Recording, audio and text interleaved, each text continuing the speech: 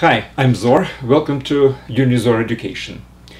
Uh, we continue talking about rocket science. It's kind of a nice and catchy term. Um, today we will talk about um, how these rocket calculations are related to gravity. Uh, so basically we are talking about a major component of space exploration, um, how the rocket should be um, calculated how all these parameters, the fuel, speed, etc., uh, if we are, let's say, leaving the Earth and are trying to launch um, the rocket on the orbit. Now, before, when we were talking about ideal rocket um, equation, uh, we were talking about space without any kind of external uh, forces, external gravitation fields, for instance. Now we will introduce this component into the equation and we'll see how it changes the equation. So that's the subject of this letter, uh, lecture. Now, uh, this lecture is part of the Physics4Teens uh, course uh, of physics, which is presented on unizor.com. I do suggest you to watch this lecture from the website. You just go through a directory. Uh, you go to physics, and then from physics to mechanics, and then dynamics, and uh, it will be part of the uh, the last topic on the dynamics. Now, why? Because um, these lectures are not only on YouTube, because every lecture on the website um, has a very detailed notes. Practically, whatever I'm talking about is is, is written. Uh, plus, the most important thing I think um, the website is logically structured, so all the lectures are follow each other in a logical sequence.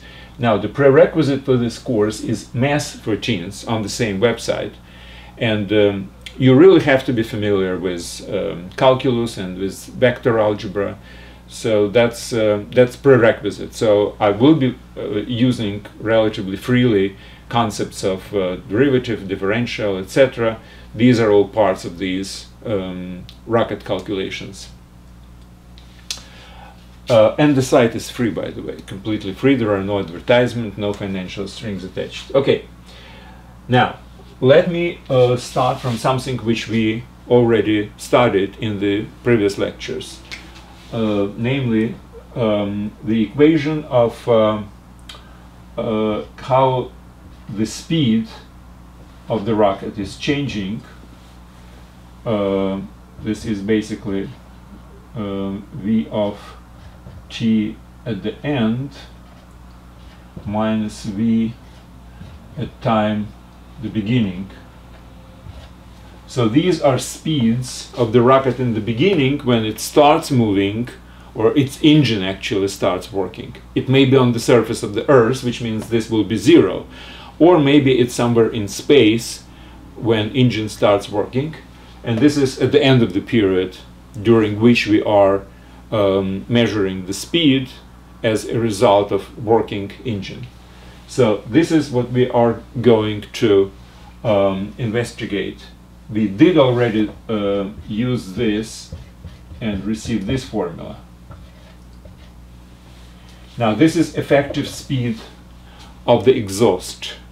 So when propellant is exhausted let's say backwards, then the rocket goes forward.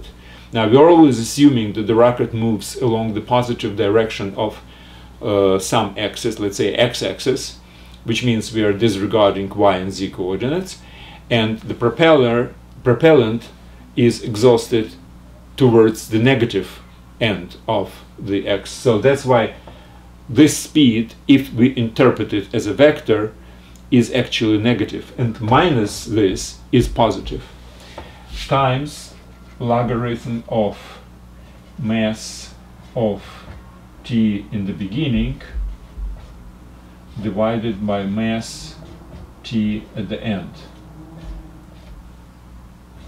Now the mass at the end of the period of acceleration is obviously less than the, than the mass in the beginning of this period. That's why this ratio is greater than 1, logarithm is positive, um, uh, effective uh, exhaustion speed is negative, but this is a minus, so it's also positive, and that's why we have this delta V of t positive, right? Now, this formula in many textbooks is not really um, uh, written with this minus sign, which means they actually consider VE as positive, and that's why basically this is the result. In, uh, written in this way, in a vector form, the formula is more, um, I think, flexible because sometimes we want to decelerate the rocket. For instance, rocket goes to some point and then it wants to decelerate, so it turns with its back towards its movement and then starts working, an engine starts working, and obviously because we are exhausting towards positive direction of the movement, we are decelerating the rocket. And it's written here actually because if VE is positive towards the, the, the, direction of the rocket, with minus it will be negative, and that's why the delta would be negative, which means we are reducing the speed, we are decelerating. So that's why I prefer to have this minus sign. But you should understand that it's not, not really that very important. Besides, in most cases, we are, we are considering when the rocket starts and accelerates. Um, they don't think about deceleration for whatever reason. Okay, now, now I would like to um, introduce the gravitation. Now this is an equation in empty space. There is absolutely no gravitation fields, no drag from, from the air, air or, or anything like that, no resistance to the moving because the rocket moves in an empty space basically. So um, this is this equation. Now I'm introducing the gravitation and I will do exactly the same um, I will use exactly the same logic as I was using when I derived this particular equation right so my first um, tool which I'm using is the uh, conservation of momentum so I will check what's the momentum of the rocket in the beginning of its movement and at the end of the movement. And they're supposed to be equal to each other. Except in this particular case, we, we have to consider that there is a force acting on the rocket, the force of gravity. Now, so we are assuming that the rocket starts from the surface of the Earth, and it starts usually with zero speed, but in any case, we will see that that's not really very important. Um, but what is important is that there is a force which is directed against the rocket movement and the force if the rocket works if the rocket engine um, works during certain amount of time this force has some impulse and this impulse is supposed to be added to the entire momentum well in this case it's subtracted because it's opposite to the movement now you remember uh, this formula right? This is the second law um, of, of, Newton. Now, instead of A, we can have dv by dt, because what is acceleration? A, it's the first derivative of the uh, of the speed, right? Or dmv of dt. So that was the formula when the mass was actually constant and we just put it inside differential.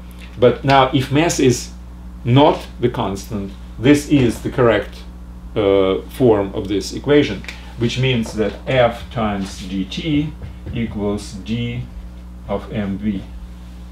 And F might be actually even the force which depends on the time too. Maybe, but doesn't really matter. But anyway, this is the equation which can which equates uh, impulse of the force during the moment uh, during the time uh, infinitesimal time dt and increment of the momentum uh, of the motion. So this force, if it's um, gravity force, should also be added at the end uh, of my uh, equation which combines my momentum before and momentum after. So before, force did not act, but during the time of my acceleration, my force was the um, gravity force and it was actually acting and we have to take into consideration additional momentum which it gives. Well, additional means with a minus sign in this case because it goes against the movement. But anyway, this is something which we have to take into consideration. Everything else is exactly as before. So, what was before? Now, before I had my momentum being this. Now, in most cases, we can probably consider that at the time uh, of the start, t equals t begin. The, the rocket is on the launch pad on the Earth, and basically its speed is zero, and that's, uh, that means that my momentum is zero.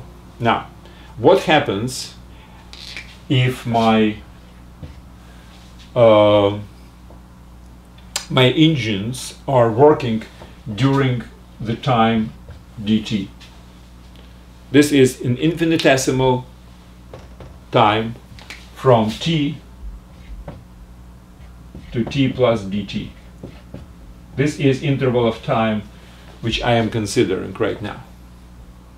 So, in the beginning of this, it was m, m, uh, m, m of t times v of t. Mass is variable because we are exhausting propellant. v is variable because we are accelerating. But in the beginning of this time, I had certain mass and certain speed. Now, what happens during the time dt? Infinitesimal period of time.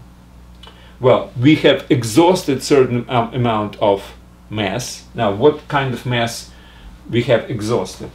Well, we have exhausted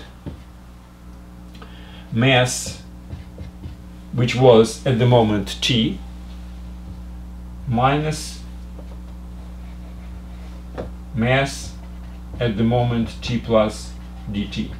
That's what we have exhausted, right? Now, what is it actually?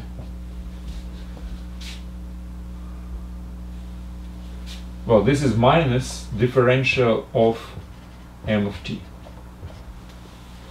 Why? Well because differential of function is the value of this function at the moment t plus dt minus uh, value of the function at the moment t. So right now I would like my mass to be positive. So if I'm asking how much mass I have exhausted, it's supposed to be with a minus sign because differential is obviously negative in this case. This is smaller, this is bigger, this is after the exhaustion, this is before. So this is negative, so my differential is negative and that's why the amount of mass which has been exhausted is supposed to be positive and that's how I wrote it here. Now, this mass which was exhausted, uh, was exhausted with um, uh, with certain speed, right? Now, what is the speed of exhaustion? Well, my effective speed is uh, VE. That's a speed of the um, propellant relative to the rocket. But rocket is also moving with the speed v of t, right? So we have to add basically the rocket speed with exhaust speed to get the uh, real speed of the propellant and this is the mass.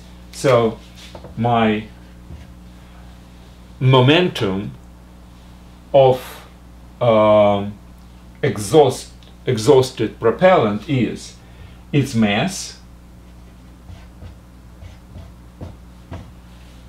times its speed.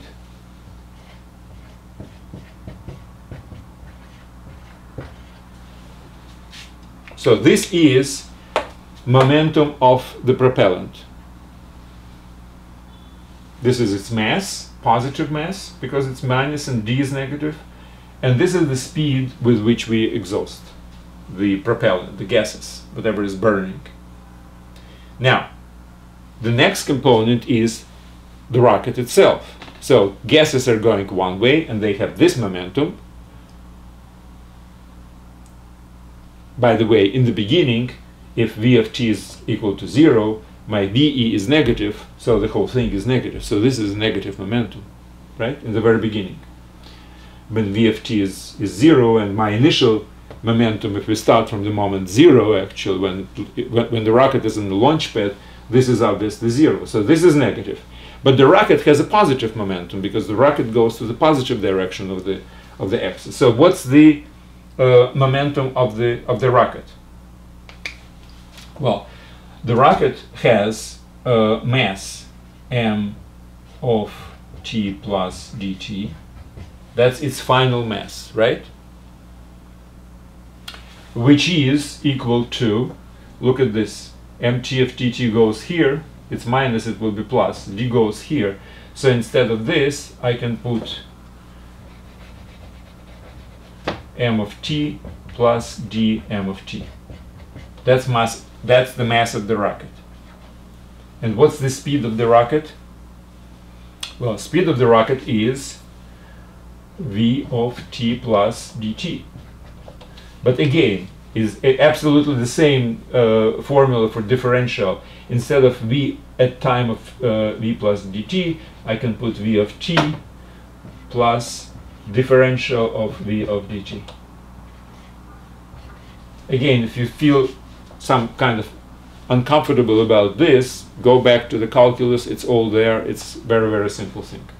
So this is the momentum of the rocket itself, whatever remains of the rocket without the propellant which has been exhausted. So this is, let's say in the beginning, in the when v of t is equal to zero, this is negative and this is positive, and that's why their sum is equal to zero, right?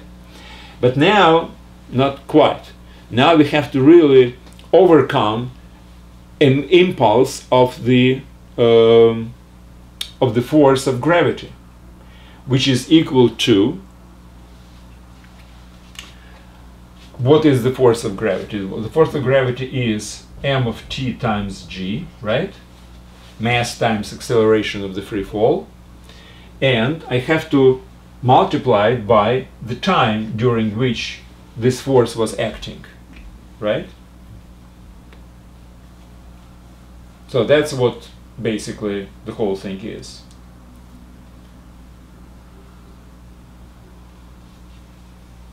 Now, if I will combine these three components together, I will basically have to exact I have to get exactly the same thing as my initial uh, momentum. Because this is the sen in, in a sense this is what actually the conservation of momentum is. This is momentum in the beginning of this period uh, from t to t plus from t to t plus dt this is the beginning momentum and the combination of, of, of these three is the ending momentum and the conservation of momentum says that they must be the same. Right?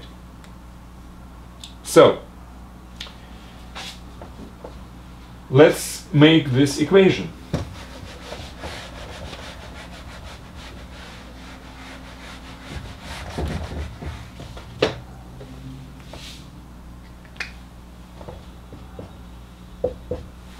Okay, so what is really the equation? First, I have to have this component minus d m of t times v of t plus ve. That's one component, right? Now, second component is this one this is the momentum of the rocket.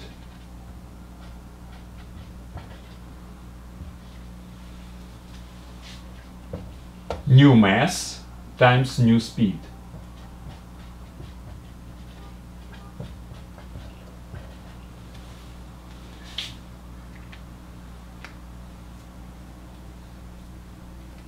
And I have to add the impulse from the gravity.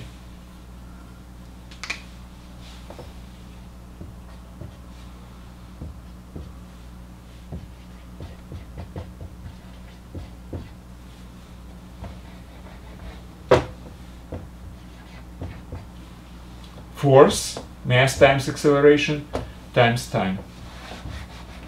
So during the time dt, infinitesimal uh, interval of time from some point t to some point t plus dt. So during this interval of time dt, this was in the beginning of this period, this was at the end of this period. And basically that's it. So the only thing which I have added is this one, this component, relative to uh, flying the rocket um, in a free space without any kind of uh, forces. So let's just simplify that a little bit. Um, now what follows is this. If I will open these parentheses, what will I have? I will have mt times vt. I will have vt times d of mt. I will have mt times dvt.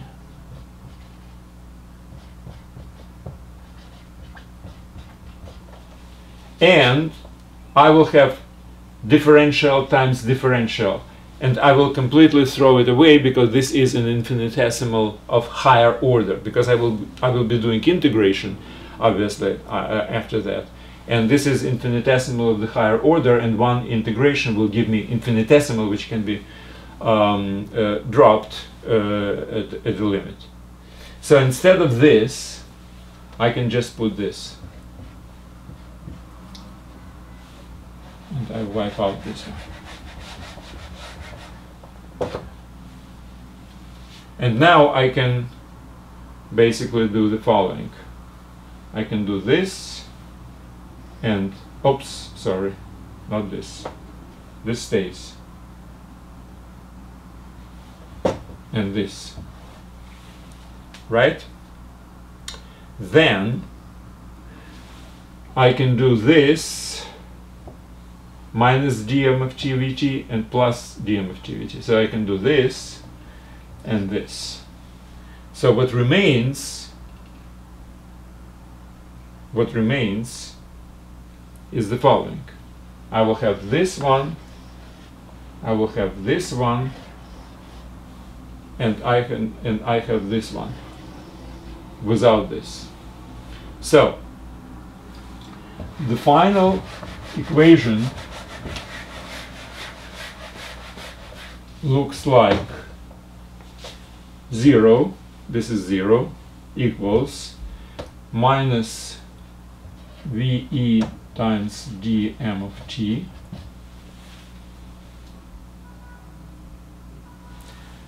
Plus m of t dv and plus this.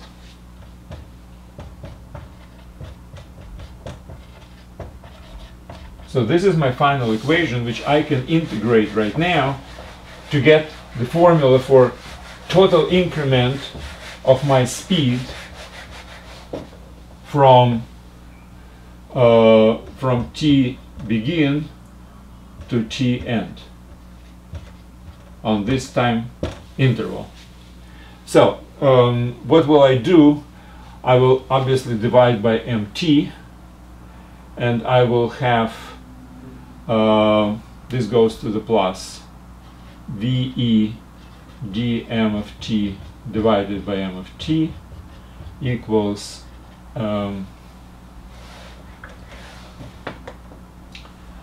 uh,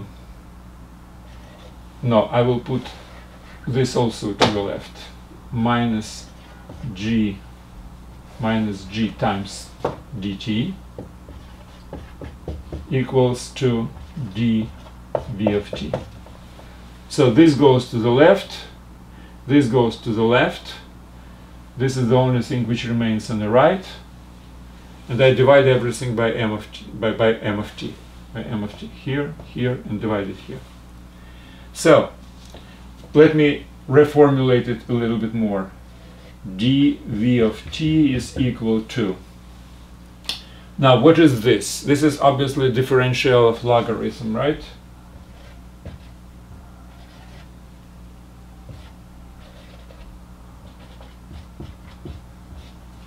So the first derivative of logarithm of something is 1 over that something. That's m of t. And then you have to multiply it by derivative of the inner function, which is uh, m derivative of t and that's what gives you differential. And uh, minus g dt now I can integrate it very simply. Integrate from t begin to t end. T begin t end. T begin t end so what will be my result? Well, if I'm integrating differential of some function, the result will be function, right? So it will be v of t, uh, v of t end minus v of t begin. This is exactly delta v, which we are interested in. How much speed we will gain, right? Equals 2.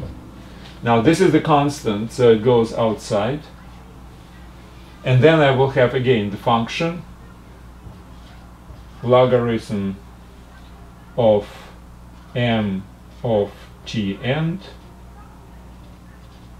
minus logarithm of m of t begin.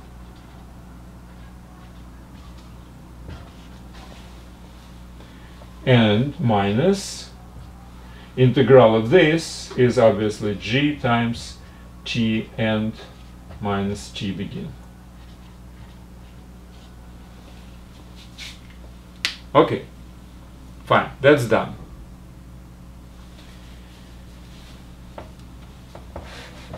Let me just simplify it maybe a little bit, and that would be the, the answer.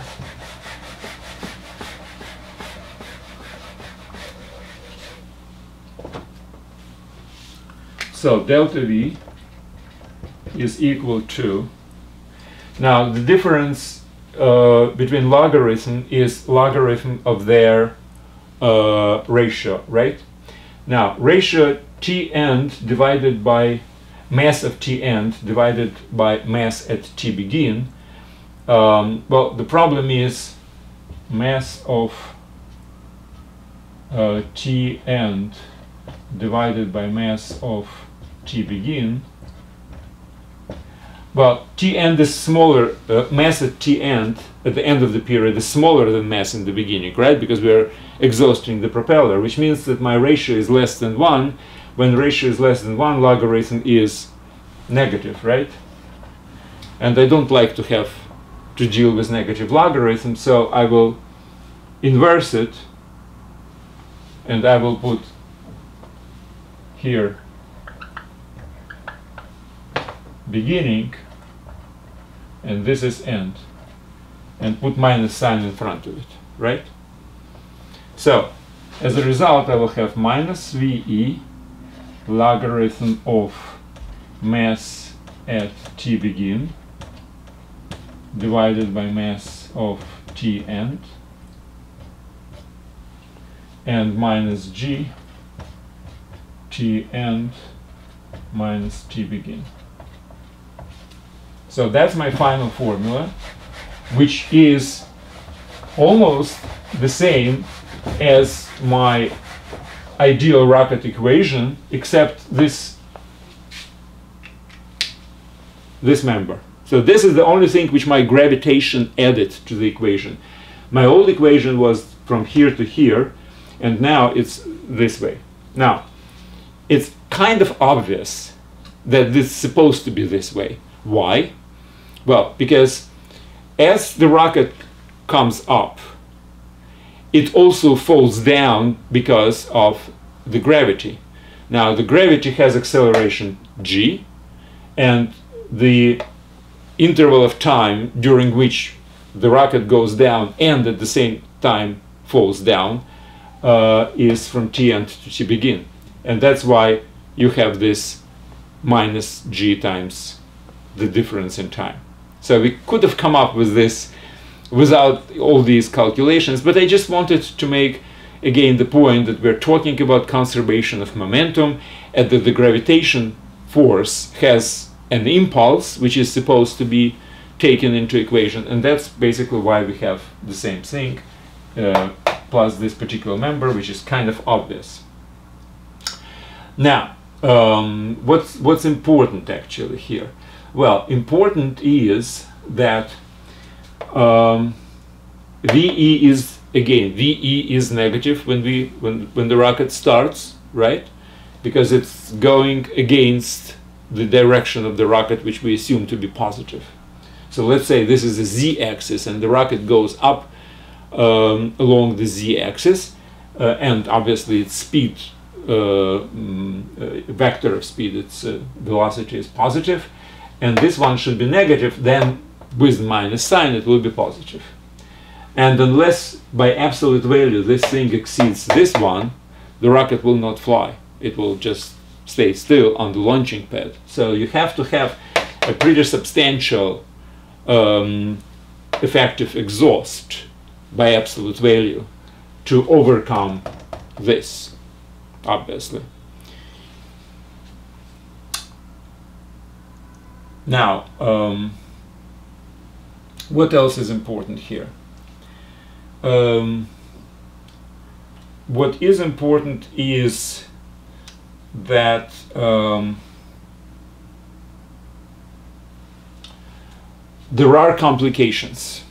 You see, you might think about this way. Okay, we have taken into consideration the, the gravity, and that's probably the biggest factor which influence all our cal calculations and must be taken into account. Now, what has not been taken into account in these calculations?